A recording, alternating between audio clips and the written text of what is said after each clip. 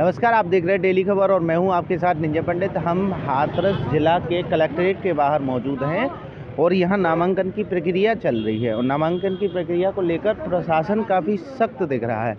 प्रशासन की चौकसी इस तरह से है, जिधर देखोगे आप पीछे हमारे तस्वीरों में देख सकते हैं, आप जिधर भी देखोगे, आपको यहाँ पुलिस प्रशासन नज़र आएगा, पुलिस के जवान नज़र आएँगे, पैरामिलिट्री फोर्सेस नज़र आएँगी, क्योंकि प्रशासन आचार संहिता जारी है। आचार संहिता के बाद यह नामांकन चल रहा है तो नामांकन को लेकर लगातार प्रशासन सख्त है। इधर भी देखेंगे तो इधर भी आपको तमाम पुलिस के आला अधिकारी नज़र आएँगे।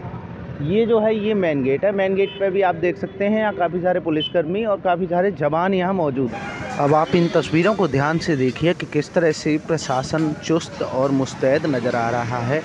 किसी भी प्रकार का कोई भी चूक प्रशासन से न हो, इसको लेकर प्रशासन कहीं ना कहीं आप मुस्तैद देख सकते हैं। हर तरफ़ जिधर देखेंगे आपको सिक्योरिटी नज़र आएगी, हर तरफ़ सुरक्षा बल आपको दिख रहे होंगे, चाहे वो पैरामिलिट्री की बात करो या यूपी पुलिस की बात करो। जिधर देखोगे, उधर आपको पुलिस की चौकसी नज़र आ रही होगी। तस्वीरों में देख के आप अंदाज़ा लगा सकते हैं, प्रशासन चुस्त और मुस्तैद है। आचार संहिता के